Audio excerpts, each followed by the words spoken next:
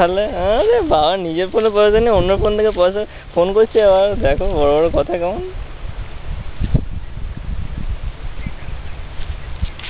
হ্যাঁ অফিসে ফোন মানে কি? কার পয়সা ফোন করছ?